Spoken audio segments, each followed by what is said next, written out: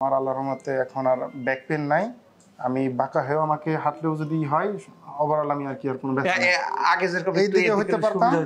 এই দিকেও পারি এখন। এখন সব এই দিকে দিকেও পারি। সামনে। মানে ওভারঅল চারদিকে মেরুদণ্ড এখন আমি রাউন্ড করতে পারি। রাউন্ড করতে পারেন বিসমিল্লাহ রহমানের রাহিম। আমাদের অনেকেরই কোমর ব্যথা হয় কারও কারও ব্যথাটা নিচের দিকে ছড়িয়ে যায়। নিচের দিকে যখন পা বরাবর ছড়িয়ে যায় সাইটিক নার্ভ যদি এফেক্ট হয় তাকে আমরা সাইটিকা বলি। অসহনীয় এরকম ব্যথা হয় ঠিকমতো কাজ করা যায় না। অনেকে দাঁড়িয়ে থাকলেও একটু বাঁকা হয়ে বাঁকা হলে হতে ইচ্ছা লাগে। এই যে তো সমস্যাগুলো দেখা দেয়। দেখা যাক আজকে আমাদের পেশেন্ট তার অভিব্যক্তি কি?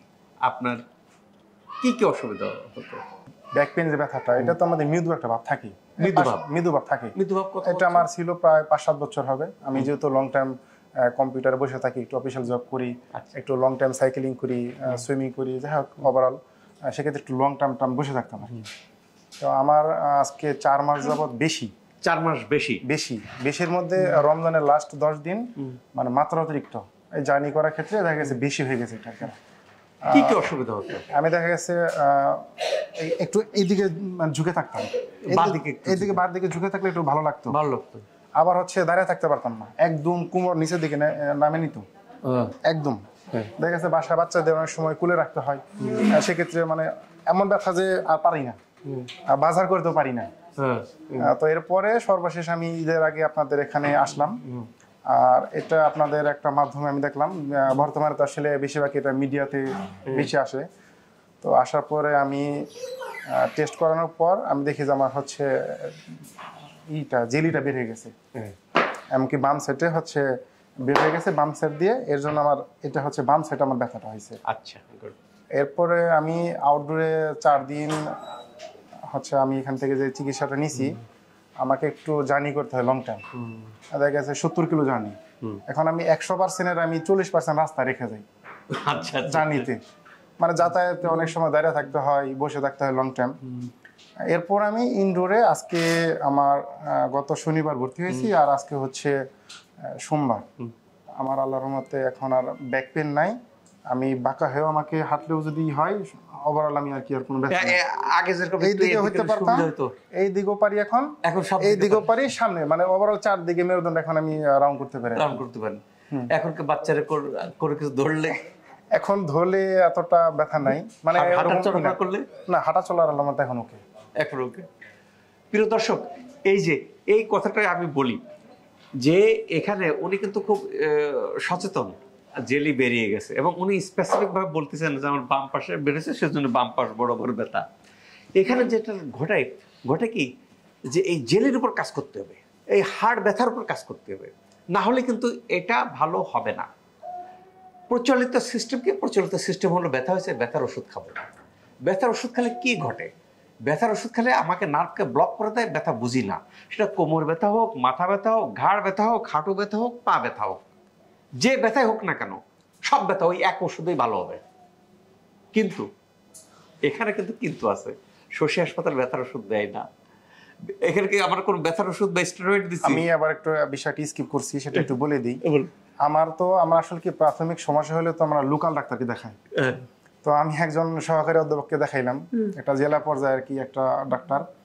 আর বলো আপনি এই মেডিসিনগুলা খান আপনার তেমন একটু সমস্যা না হালকা একটু সমস্যা একটু ব্যায়াম করবেন। এখন মেডিসিন আর ব্যায়াম এটা তো পরিপূর্ণতা আমি পাই নাই। মানে বিশ্রাম যাই করছি। এরপর আমি কয়েকটা ইউটিউবে যে ভিডিও দেখলাম যে ভিডিওতে দেখি যে সায়াটিকে মেন প্রবলেমগুলো করে কি ওনারা অপারেশন করে। এখন আমি আবার অপারেশনের পক্ষে না। কারণ আমার চেষ্টা করব যে আমি আগে রিকভারি দেখি করতে পারি নিজেকে একটু সময় দিয়ে। এরপরে আমি এখানে চলে আসলাম আর কি মূলত। যে অপারেশন বিহীন একটা লাইফ স্টাইল দেখি লিড করা যায় নাকি। কারণ অপারেশন করলাম আমি দুই দিন পরে সুস্থ হলাম কিন্তু সারা জীবনের জন্য কিন্তু আমি পঙ্গু। আর এটা কেমন পঙ্গু, এটা আমরা সিজার রোগীদেরই আমরা বুঝি। একটা সিজার বেবি হইলে যেমন হয় আমাদের ঠিক তেমনই আর কি। একটা যতটুকু অপারেশন করুক, এটা খুবই জটিল একটা বিষয়। আজকে একটা পেশেন্ট আসছিল, সে বিদেশে গেছে, বিদেশে চিকিৎসা করছে। চিকিৎসা করার পরে আসছে অপারেশনের পরে ফুড ড্রপ অর্থাৎ পা হাঁটতে পারতেছে না। এটা এরকম করতে পারে না। ফুড ড্রপ বলে আমরা হাঁটতেছে এরকম করে করে। ফুড ড্রপ তা তাকে যেটা দেখলাম যে আসলে যে অপারেশন পরবর্তী নার্ভকে ক্ষতিগ্রস্ত হয়ে গেছে এবং কোমরে ওই স্ক্রু দেওয়া। আমরা বললাম যে কোমরে স্ক্রু দেওয়া আমাদের এখানে ট্রিটমেন্ট নাই। কেন নাই? এই যে জেলি বেরিয়ে যাচ্ছে, আমরা এখানে কিন্তু ওনাকে কম্বিনেশন ট্রিটমেন্ট দিছি। কম্বিনেশন ট্রিটমেন্ট আকুপাঞ্চার দিছি তারপরে যে জেলি বেরিয়েছে আমরা পুশ আপ দিছি চাইনিজ ফিজিও পুশ আপ দিতে যেয়ে কিন্তু ওই ওনার ব্যথা লাগছে। ব্যথা লাগছে। লাগছে লাগছে। প্রথম দিকে এরকম লাগে। কেননা আমি যদি এটা না করি তাহলে তো জেলে তার জায়গা মতো যাবে না। জেলে জায়গা মতো না গেলে তো কাজ করবে না। জেলে যদি রগের উপর চাপ দিতে থাকে ব্যথাগুলো হবে। এবং পাশাপাশি লাইফ স্টাইল আমরা এই কুলোর কম্বিনেশন দিই। যেন এটা আল্লাহর রহমতে যেন ওই জেলি হাড় ক্ষয় ঠিক হয়ে যায়, জেলি ঠিক হয়ে যায়, ভালো হয়। এখানে কোনো ওষুধ দেওয়া হয় না।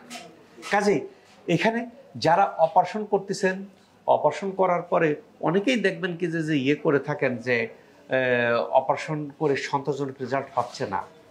আমাদের এখানেও দুইবার, তিনবার অপারেশন করে ভালো হন না আমাদের এখানে ভালো হয়েছে। বাট কারও যদি স্ক্রু থাকে, নাট বল্টু থাকে, তাহলেই এখানে না আসার জন্য আমি অনুরোধ করছি। যারা ভিডিওটা দেখতেছেন তারা তাদের মধ্যে যদি কি এরকম থাকে, আসেন না। কেন আসবেন না?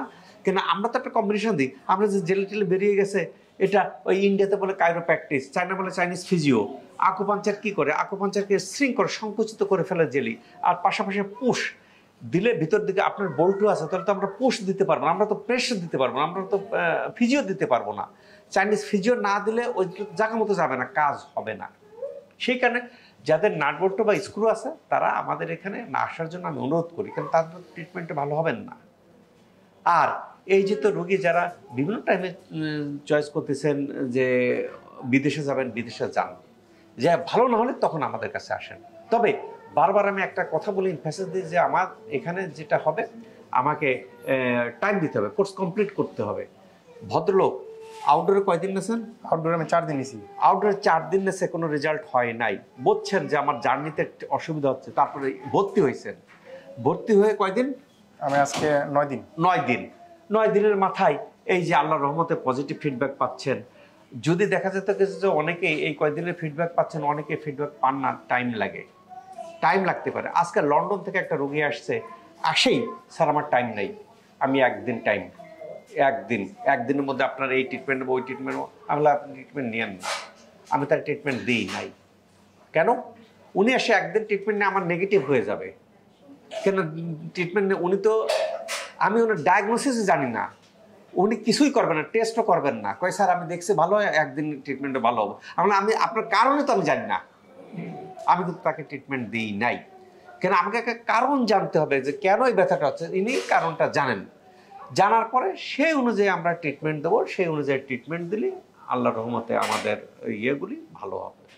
তা এই ক্ষেত্রে তা সেই রুগীকে আমি ট্রিটমেন্ট দিই নাই। রুগীটা হয়তো অসন্তুষ্ট হবে। কেন কি? আমাদের সাকসেস রেটটা খুব হাই নাইনটি পার্সেন্ট আল্লাহর রহমতে সাকসেস রেট টেন পার্সেন্ট রোগী পজিটিভ না। কেন পজিটিভ না? পজিটিভ না থাকার কারণে ওই যে উনি আসতেছেন, আসার পর আমি লন্ডন থেকে আইসি নিলাম একদিন। এ ভালো হইলাম, আর দূর ভালো হয় না। বা যার যে কোর্স কোর্সটা কমপ্লিট করতেছেন না ভালো হচ্ছেন না। কাজে বারবার ইনফাসিস দিই যে কোর্স কমপ্লিট কোর্স কমপ্লিট করলে দেখবেন কি যে এই যাতে ওই যাদের কোমর ব্যথা জেলি বেরোইছে হাড় ক্ষয় হয়ে গেছে। আমরা তো কোনো ব্যথার ওষুধ দিই না। আমাদের এই যে আপনি নয় দিন আর চার দিন তেরো চোদ্দ দিন ট্রিটমেন্ট নিয়েছেন কোনো ব্যথার ওষুধ ব্যথার ওষুধ নাই কোনো ওষুধই নাই। আর স্টেরয়েড ভাই স্টেরয়েড দিতে হলে কি? স্টেরয়েড আমরা ডাক্তাররা কখন দিই? যখন জীবন সংকটের মুখে পড়ে অর্থাৎ বাঁচবো মরবো সেই স্টেজে স্টেরয়েড স্টেরয়েডের ক্ষতিকর অনেক দিক। যারা একটু বেশি স্টেরয়েড নিয়েছেন দেখেন এভিএন হার্ট পচন ধরতেছে, এখানে একটা বাটি থাকে, বাটি নিক্রোসিস হয়ে যায়, পচে যায়। আমার কাছে একটা পেশেন্ট আসছিল, স্যার, আমার স্টেরয়েডের কারণে। তবে তার ভ্যালিড ছিল। করোনা হয়েছে, করোনাতে স্টেরয়েড দিতেই হবে আইসিইউতে গেছে। স্টেরয়েডের কারণে বডির মধ্যে অনেক রকম অসুবিধার সৃষ্টি হয়। ইমিউন সিস্টেম ধ্বংস হয়ে যায়। কোনো ওষুধে কাজ করে না। কাজেই আমার রিকোয়েস্ট থাকবে যদি বিনা ওষুধে বিনা আপনার স্টেরয়েড বিনা মেডিসিনে যদি ভালো থাকে। এরপরে এখন কথাকে কতদিন ভালো থাকব? ইনি এই যে ভালো হয়ে যাচ্ছেন এখন আমরা কিন্তু ওনাকে একটা গাইডলাইন দিয়ে দেবো যে আপনি এই জিনিস খাবেন। ঠিক হ্যাঁ, আছে? হ্যাঁ, জি জি জি। ওইগুলো ফলো করবেন ওইগুলো সারা জীবন ফলো করবেন সারা জীবন ভালো থাকবেন। ওইগুলো ফলো না করলেও ভালো থাকতে পারেন কিন্তু ফলো না করলে আবার হওয়ার চান্স আছে। কিন্তু আবার এই যে যে কি হয়েছে ওনার কিন্তু জেলে পূর্ণাঙ্গ যায় নাই। তিরিশ দিনে কি হয়েছে? হালকা চলে গেছে। অর্থাৎ যে চাপের পড়ছিল চাপটা নাই উনি ব্যথা মুক্ত হয়েছেন। বাট জেলটা কিন্তু এখনও বাইরে রয়েছে। এখন লাইফ স্টাইল ফলো করবেন ওইটা ভিতরের দিকে যাবে। যাইতেই থাকবে। যাইতে কতদিন লাগে এটা ডিপেন্ডস বডির কন্ডিশন এর আগে আমাদের একটা পেশেন্ট ছিল দুই বছর লাগছে তার। এমআরআই করছে লাইফ স্টাইল ফলো দুই বছর পরে আবার এমআরআই করে দেখে নাই জেলি নাই। কারও দুই বছর লাগে কারও পাঁচ বছর লাগে। আর ব্যথা ব্যথা ভালো হয়ে যাচ্ছেন তিরিশ দিনের মধ্যে। কাজেই এখন লাইফ স্টাইলটা ফলো করতে হবে। কেন? লাইফ স্টাইলটা কি? লাইফ স্টাইলে যার বদৌলতে আপনার বডির মধ্যে ইলেকট্রোলাইট ভিটামিন ডি ব্যালেন্স করবে, তাহলে হাড় ক্ষয় হবে না। হাড় ক্ষয় না হলে জেলে বেরোবে না, ভালো থাকবেন। খুব ইজি তবে এর জন্য দক্ষ আকুপাঞ্চারটার দরকার। দক্ষ আকুপাঞ্চার দিয়ে যদি আকুপাঞ্চার করা হয়, পাশাপাশি এরকম একটা কম্বিনেশন এখানে অনেকে ভিডিও দেখে এখন আর নেগেটিভ রিমার্কস করেন না। প্রথম ভিডিওতে যখন আমেরিকা থেকে রুগী আসছিল আমি ভিডিও দিছিলাম, খুব নেগেটিভ রিমার্কস করছিলেন। এখন তো হওয়ার সমস্যায় আসতেছে। বলে স্যার আমেরিকাতে ভালো হয় না, কানাডাতে ভালো হয় না, লন্ডনে ভালো হয় না, এখানে কি ভালো সম্ভব? সম্ভব। কেন? এখানে অনেকগুলো ট্রিটমেন্ট নিচ্ছেন। দেখেন, আমাদের একটা ফিমেল সে আমেরিকাতে, আমেরিকার সিটিজেনশিপ আমেরিকাতে কয় বছর যাবত ট্রিটমেন্ট নিয়ে কাঙ্ক্ষিত ফলাফল হয় নাই? চলে গেছে থাইল্যান্ড। থাইল্যান্ডে কাঙ্ক্ষিত ফলাফল হয় নাই, ভালো হয়ে গেছে। আল্লাহর অশেষ রহমত। কেন? এখানে কম্বিনেশন এখানে অনেকগুলো উনিও আমেরিকাতে আকুপাঞ্চার নিছে বাট একক আকুপাঞ্চার এখানে কি করা হয়? আকুপাঞ্চার পাশাপাশি আপনাকে ফিজিও দেওয়া হয়েছে। ওজন দেওয়া হয়েছে চাইনিজ থেরাপি দেওয়া হয়েছে এরকম ফুড ফুড ট্রিটমেন্ট দেওয়া হয়েছে। এই ফুড ট্রিটমেন্টটা আজকে আমি নিছি। এটা কি হয়? যে আপনার পা থেকে একেবারে হাঁটু থেকে হাঁটু থেকে। ইয়ে পর্যন্ত বিভিন্ন পয়েন্টকে স্টিমুলেশন দেওয়া হয়। যারা সুস্থ স্বাভাবিক রোগ রোগী রোগী না এরাও নিতে পারেন। আমি মাঝে মধ্যে যখনই সময় পাই, যখন তখন ওজন থেরাপি, ফুড ট্রিটমেন্ট থেরাপি এগুলো নিই শারীরিক সুস্থ থাকার জন্য। যারা সিঙ্গাপুরে যাচ্ছেন, থাইল্যান্ডে যাচ্ছেন, চায়নাতে যাচ্ছেন, তারা দেখে থাকবেন যে তারা ওই সুস্থ রোগীরা এগুলো নিচ্ছে। নিলে কি ঘটে? নিলে টক্সিন দূর হয়ে যাচ্ছে, বিভিন্ন পয়েন্টকে স্টেবুলেশন দিচ্ছে বডির বিভিন্ন অর্গানকে ভালো থাকে।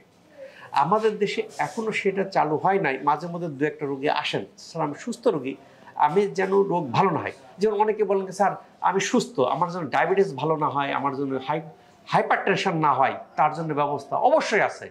আপনি যদি এইগুলো নিয়মিত নেন লাইফস্টাইল ফলো করেন, আপনার, আপনি হাইপার টেনশন থেকে মুক্ত থাকবেন, ডায়াবেটিস থেকে মুক্ত থাকবেন, সুস্থ ভালো থাকবেন। অনেকের বলে life long disease life long disease বলা হয় ডায়াবেটিস হাইপার টেনশন অর্থাৎ ব্লাড প্রেশার বেশি। এগুলো হলি আর নিস্তার নাই। আমার ডায়াবেটিসও ছিল প্রেশারের ওষুধ খাইতাম তিনটা। প্রথমে একটা শুরু করছিলাম, পরে দ্বিতীয়, তৃতীয়টা অল্প কিছুদিন। আল্লাহ রহমত এখন কোনো প্রেশার ওষুধ লাগে না সব কিছু নর্মাল এইসব ট্রিটমেন্টের মাধ্যমে। ওষুধবিহীন যদি এরকম ভালো থাকা যায়, আল্লাহর কাছে অশেষ কৃতজ্ঞতা। তো এই যে তো যাদের জেলি বেরোচ্ছে, হাড় ক্ষয় হয়ে যাচ্ছে, এরা খুব ভালো থাকতে পারেন, সুস্থ থাকতে পারেন। যদি নিয়মিত কোর্স মেনটেন করেন, পাশাপাশি lifestyle very very important আল্লাহ তালা আমাদের সবাইকে সুস্থ রাখুক এই প্রত্যাশায় আমি ডাক্তার ইসলাম।